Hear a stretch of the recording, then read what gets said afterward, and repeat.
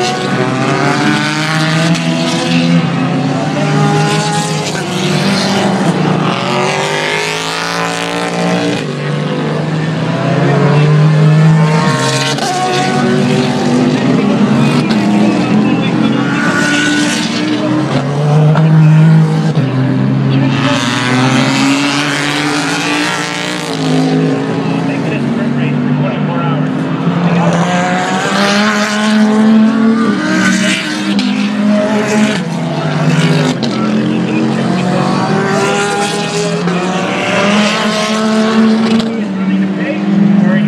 Uh, getting everything you can out of the car, as you uh, hoping to get more out